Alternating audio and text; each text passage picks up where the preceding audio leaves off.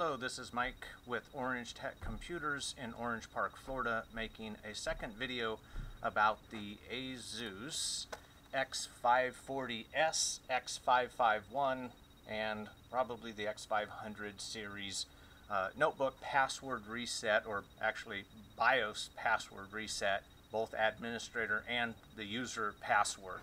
Um, this is what it looks like.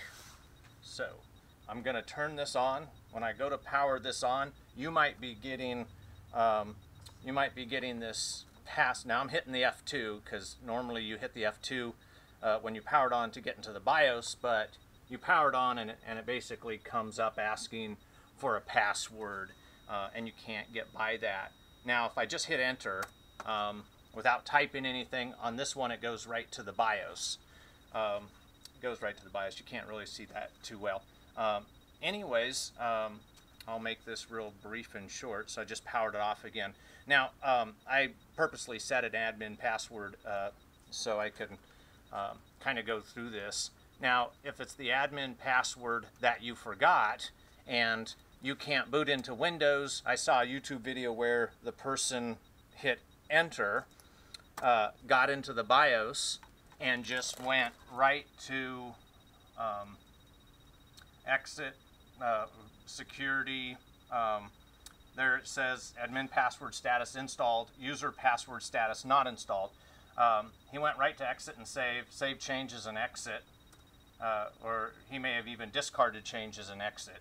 Um, but when he hit enter and he did that, it just went right into Windows and once you got into Windows, uh, a lot of people um, said, hey, that's great, I got right into Windows. And then from there, uh, there were some videos about how to reset the admin password. Um, I'm going to actually uh, talk about the user password, which is actually a little bit harder. I guess the admin password, you can reset it without pulling the battery or taking it apart to get to the battery. Um, the user password, uh, they're saying you have to take apart to remove battery, and you don't. You don't really have to do that at all uh, when it comes up and it gives you that password to enter, you hit Alt F2, and I'll kind of show you here in a minute uh, when this when I can reboot this uh, what that screen is. But when you hit, I'm sorry, I said Alt F2. I mean Alt R. Alt R uh, does the recovery. Um, I think I better just show you here. So, uh, anyways, we're just gonna shut this down. Come on. Okay, shut this down again. Okay, so when you hit power, you power it on, and you know I'm going to cause it to come up with that uh, needing a uh, password again. You know, these computers never work when you want them to.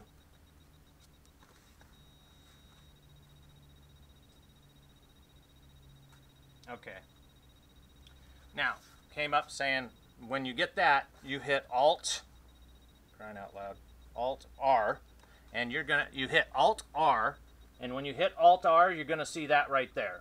Okay, so it's gonna say enter recovery password, and you'll know there's a date.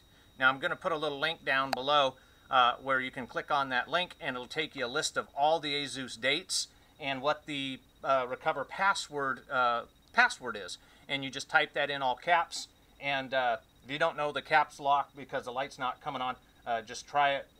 Hit the caps lock, try it, doesn't work, uh, do it again, and don't hit the caps lock. Anyways, put that in, uh, and you just go at the password by the date that's being displayed there. When you type it in and you hit enter, if it just hangs and doesn't do anything, power off, power on, it's cleared. Um, and that's basically how you uh, get past the user password.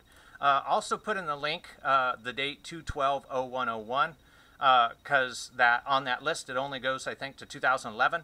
Uh, if you have an ASUS and notebook and you need the uh, admin or username or use BIOS password reset, let me know and I'll look for that date and the password uh, when you're hitting Alt R for the recovery password and I'll look for what that password to that date is. Uh, but I hope that helps. Oh, uh, one other thing.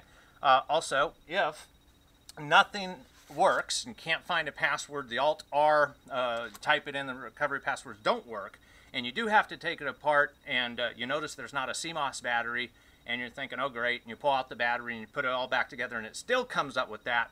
somebody made the comment where when you take it apart and you unplug the battery, uh, to also unplug the hard drive, and then hold the power button down for 60 seconds. And I guess that takes all the static charge off the motherboard, and then um, put it back together, and and they cleared it that way.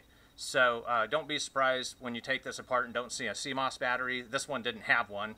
Uh, it's just got the battery that's inside, uh, which uh, looks very much like a standard outside notebook battery. So anyways, hope that helps. Uh, post some comments and questions, and if I can uh, make another video with a little bit more information, I will. Thanks.